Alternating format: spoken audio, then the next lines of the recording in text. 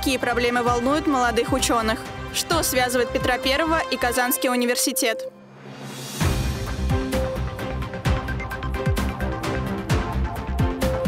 Всем привет! В эфире «Univer News», а в студии Яна Маргарян. 24 сентября в Институте филологии и межкультурной коммуникации Казанского федерального университета прошел слет педагогических кадров. Проект предпрофессионального образования «Новый педагогический класс» города Казани стартовал в сентябре 2022 года. Казанский федеральный совместно с Управлением образования города Казани открывает 19 педагогических классов и сотрудничает в проекте с 22 образовательными организациями города Казани – гимназиями, лицеями, школами и полилингвальным комплексом «Адемнар. Путь к знаниям и согласию».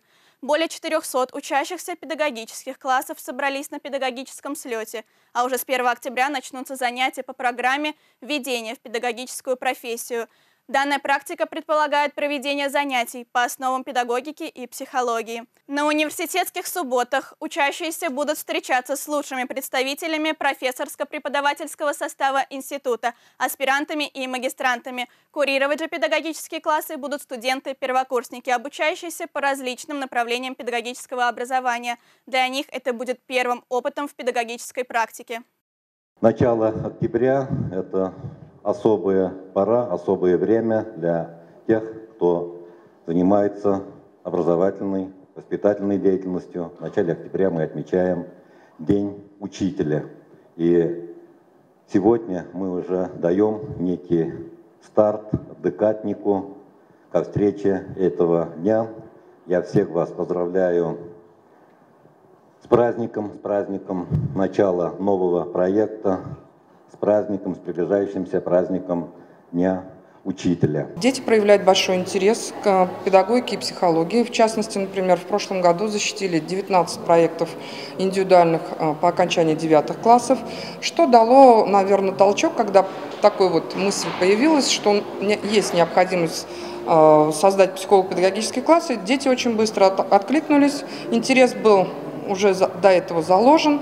А педагогика почему? Я думаю, что есть необходимость государства у нас на уровне уже государства озадачиться тем, что а, педагог эм, есть профессия востребованная, и ее необходимо как-то актуализировать, обновить и еще раз обратить внимание, что без педагогов прогресса не бывает. Казанской государственной академии ветеринарной медицины прошел круглый стол по актуальным проблемам молодых ученых в рамках мероприятий, посвященных 200-летию становления ветеринарного образования в Казани.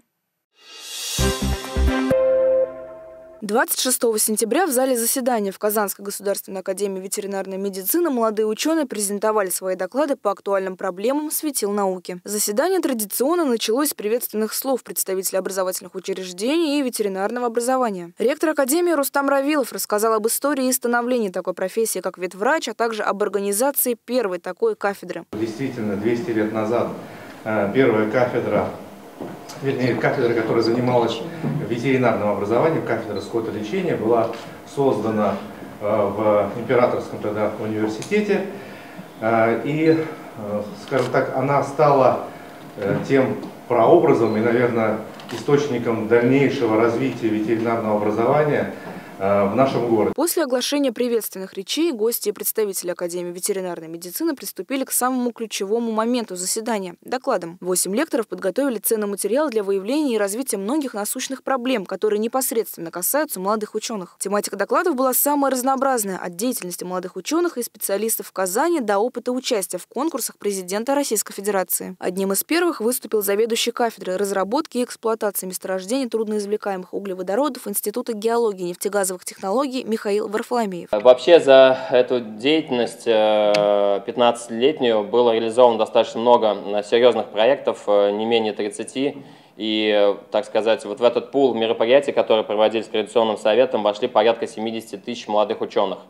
И сегодня одной из важных, так сказать, задач, которые, которые координирует Совет, это десятилетие науки и технологии, которое объявил наш президент в этом году. Напомним, что на сегодняшний день в Ассоциацию молодых ученых КФУ входит порядка 40 человек. Последний состав был избран в 2015 году, руководителем которого является Михаил Варфоломеев. Карина Саяхова, Александр Кузнецов, Univer News.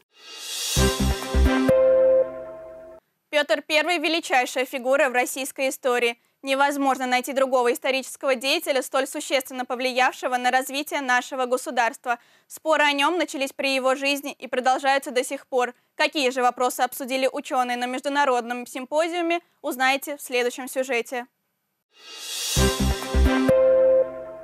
В Институте международных отношений Казанского федерального университета проходит международный научный симпозиум «На плечах гигантов. Петр Великий и имперский опыт России в контексте мировой истории». Мероприятие посвящено 350-летию со дня рождения Петра I и 1100-летию принятия ислама Волжской Булгарии. Мне кажется, что очень важно, чтобы вот э, этим, этот взгляд он был сфокусирован не столько на, э, скажем, построению государства, хотя это тоже не менее важно. Сколько может быть в контексте дня сегодняшнего проанализировать те социальные институты, которые были зарождены, зарождены в тот период, и которые, возможно, требуют сегодня перерождения и э, реновации. Выбор тематики научного форума определил тот факт, что между 3000 годом до нашей эры и 1800 годом нашей эры в истории человечества можно найти более 60 мегаимперий. Их наследие не только вызывает закономерный исследовательский интерес, но и продолжает оказывать влияние на политические процессы и практики в современных государствах, многие из которых связаны с империями прошлого прямой исторической преемственностью. В связи с этим значительный интерес научного сообщества привлекают проблемы места и роли Российской империи, официально провозглашенной Петром I в 1721 году в истории мировых цивилизаций Евразии, ее связи с политическим и культурным наследием великих империй древности и средневековья, а также ее взаимоотношения с синхронными империями Западной Европы и стран Востока. Особое внимание в работе симпозиума будет уделено имперскому опыту как до Петровской, так и после Петровской России. За период, э, ну, возьмем с третьего тысячелетия, по сути, более около пяти тысяч лет, как развивались эти империи. Более 60 мегаимперий на сегодняшний день известно. И вот здесь это взаимодействие, оно как раз показывает то э, мировую историю, в которой мы активно участвуем. В рамках заседаний симпозиума обсуждался целый ряд вопросов, среди которых рецепция античности в имперской традиции России, изучение империи древности и средневековья в России, роль Византийской империи в истории и культуре России, восприятие имперского наследия до Петровской России, а также империи Степной Евразии в древности и средневековье, империя чингизидов в истории Евразии, роль Петра Великого в становлении Российской империи, значение религиозного фактора в судьбах империи и имперский опыт опыт постпетровской России в XVIII веке. Мой доклад будет состоять из двух частей. В первой части речь пойдет о древневосточных архетипах императорских титулов Петра Великого. Во второй части речь пойдет о вавилонском мифе российской государственности. Симпозиум будет проходить с 26 по 28 сентября, как в очной, так и в дистанционной форме. В работе конференции примут участие более 80 ученых из разных городов России и стран мира. Симпозиум организован Казанским федеральным университетом в сотрудничестве с Российским историческим обществом, Российским обществом интеллектуальной истории, Российской ассоциацией антиковедов. Программу форума можно найти на сайте Казанского федерального университета. Алина Красильникова, Александр Кузнецов, Univer News. News. В Набережно-Челнинском институте Казанского федерального университета прошла волна традиционных школ актива отделений 2022. Подробнее в сюжете. Школа актива Набережно-Челнинского института КФУ – это ежегодное выездное мероприятие для первокурсников «Альма-Матер», где сотни юных студентов проходят игры на командообразование, слушают лекции от сотрудников института, выполняют задания в рамках различных тренингов и мастер-классов, наслаждаются лесным воздухом и просто проводят продуктивно время вместе. Очень рада, что попала на школу актива. Мне удалось познакомиться со многими новыми ребятами. Я надеюсь, что данное мероприятие поможет мне отдохнуть и э, вступить в новую учебную неделю. Прежде всего, школа актива КФУ – это возможность для каждого обучающегося альма-матер проявить свои лидерские способности, продемонстрировать имеющиеся таланты, обрести новые знакомства и друзей. Очень рада быть здесь, очень интересные конкурсы, э, очень веселые люди, обстановка и атмосфера вообще очень крутая. прекрасное место, но я не знала о нем, но я рада здесь присутствовать. Несмотря на одну тематику проводимых мероприятий, каждое отделение провело свою школу по-особенному. Зажигательная дискотека, Орляцкий круг, квесты, розыгрыш мерча, КФУ и даже приз в виде воздуха из легендарной Дубравушки. И еще много всего интересного. Но самое главное – это то, что огромное количество первокурсников всего за один день объединились в одну большую семью актива. Амир Ахтямов, Центр набережно-Челнинского института КФУ, Univer News. Свыше 200 студентов Казанского федерального университета стали участниками Всероссийского студенческого патриотического забега. Они пробежали дистанцию в 1418 метров, что символизирует количество дней, которые преодолела наша страна на пути к Великой Победе. В Институте геологии и нефтегазовых технологий Казанского федерального университета продолжается серия лекций от зарубежных ученых.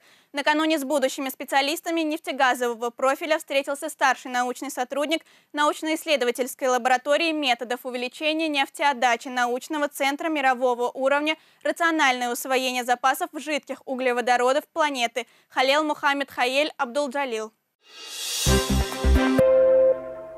В Москве прошла международная конференция, посвященная инновационным лазерным технологиям и их высокотехнологичным промышленным приложениям. Аспирантка кафедры оптики и нанофотоники Института физики Казанского федерального университета Елена Черных стала лауреатом конкурса молодых ученых, проводимого в рамках мероприятия. На этом все. В студии была Яна Маргарян. Сюжеты из выпуска ты сможешь найти в наших социальных сетях, а также на сайте телеканала. До новых встреч!